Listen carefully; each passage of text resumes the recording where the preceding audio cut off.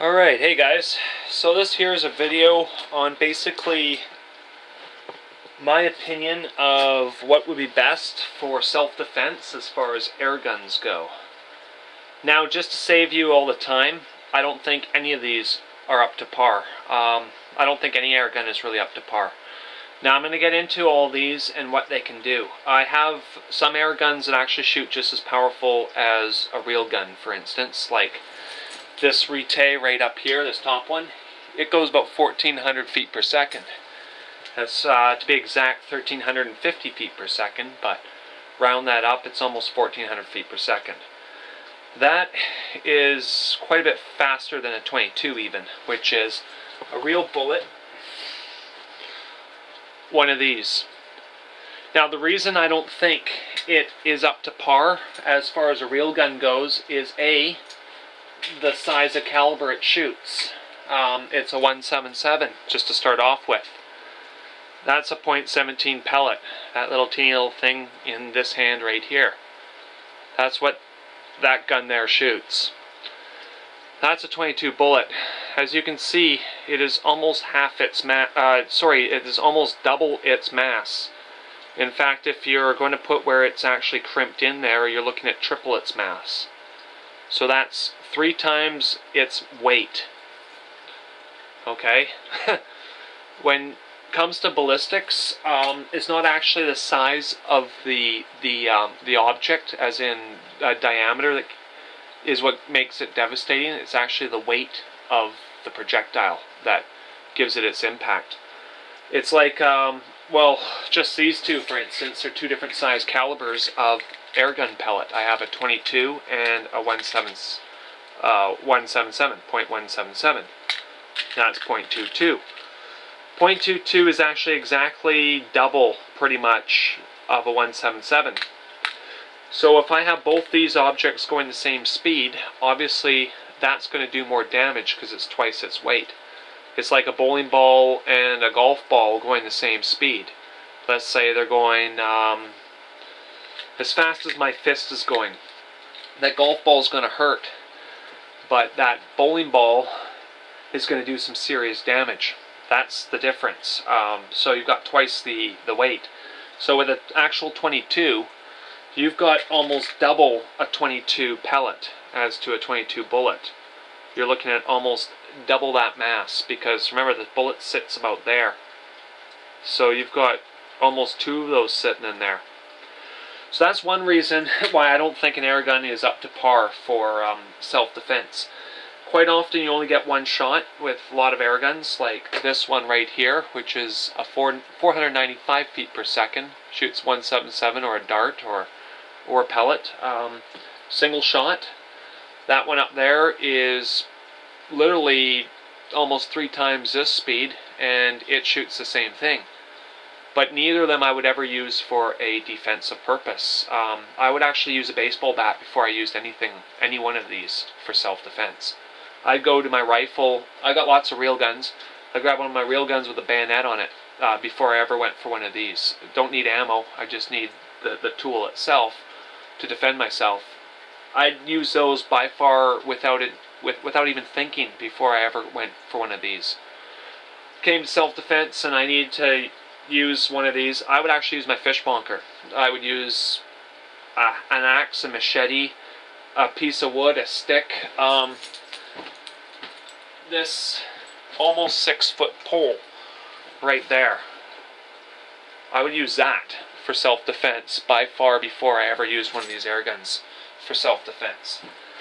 I don't think an air gun is even something to consider for self-defense. Um, you can use it for hunting, you can use it for pest control, you can use it for target practice. They're great for that.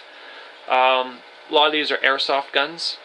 I wouldn't even consider them for self-defense. Not even if I put steel marbles in them and shot those at six uh, millimeter uh, BBs, uh, metal. I wouldn't even consider that for self-defense. Paintball gun. Got one right there. I've got lots of paintball guns, but that's just the one I chose for the video.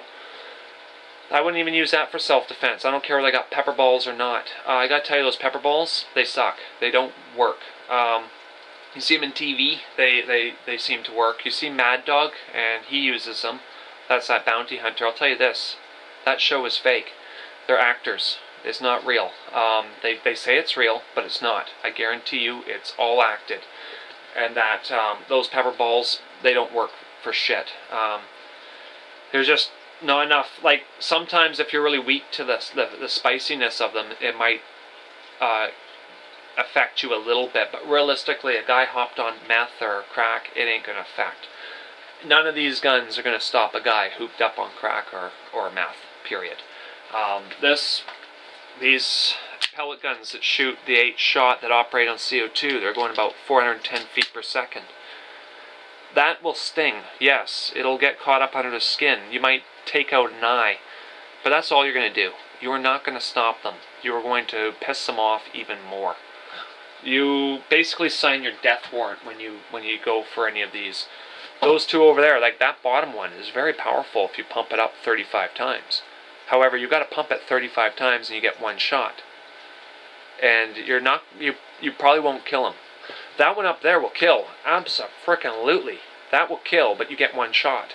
It's like the equivalent of a black powder rifle. Um, are you going to defend your house with a black powder rifle? Well, maybe if it's the only thing you've got, sure, but you get one shot and then, well, things come your way. So, something to keep in mind. Uh, the idea of using a gun in defense is basically you're putting them down and you're keeping them down. These things will not keep anyone down. They will sting and that's all they'll do. They will not they will not put a guy down. They will not make a guy give up. They're just going to piss him off. So I really don't think that an air gun is a good option for self-defense. Period. I've seen a lot of videos of these. Um, I call them sheltered sheltered people, people who have been sheltered all their life who have actually never been in one scenario in their life. Um, me personally, I've been in a lot of frickin' street street issues, a lot, and um, I've never used an air gun in them because I knew better. Uh, but I, have had to defend myself, and I'm still here today because of it. But I'll tell you this: I'm not here because any one of these have saved my life. These would not. I would not ever rely on on any one of these two to protect myself.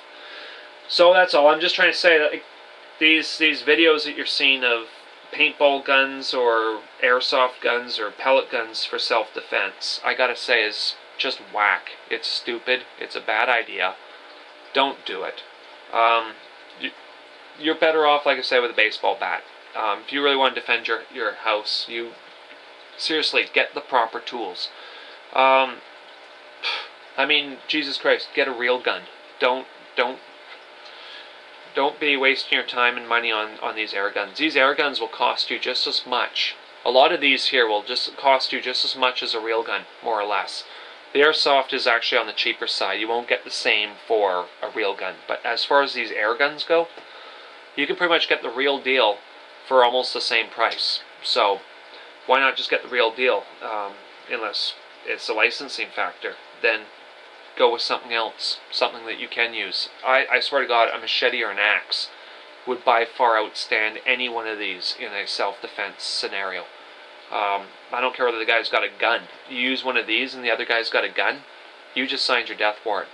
They will kill you. Plain and simple.